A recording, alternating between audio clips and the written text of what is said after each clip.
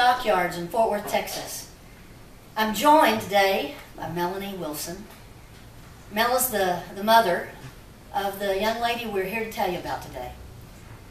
Lauren Skillman passed away last November 1st, 2011, from cancer. She had fought for her life for at least four years.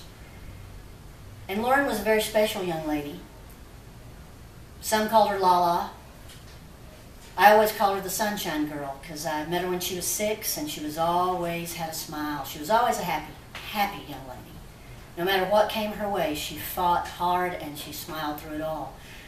There's a foundation, the Lala Soldiers Foundation, and you can find it on the internet, lalasoldiersfoundation.org. And our push and our purpose is to help and to provide music therapy, instruments to the ages 13 to 30. Any individual in that age range that is going through chemotherapy or fighting to, and struggling to, to survive. Uh, Lauren found that music therapy was very valuable. One of her favorite songs was You Are My Sunshine. And Mel used to sing it to her an awful lot when she was going through chemo. So that's what we want to do today.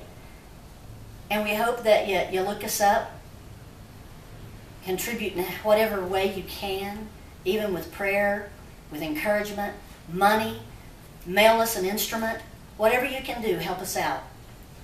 Because it, it's, it's a worthwhile organization, and we're going to do a lot of good things here. And if you're ever in the stockyards, come on down to the Cowtown Winery.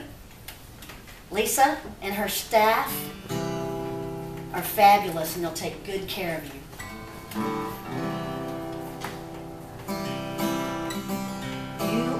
Sun.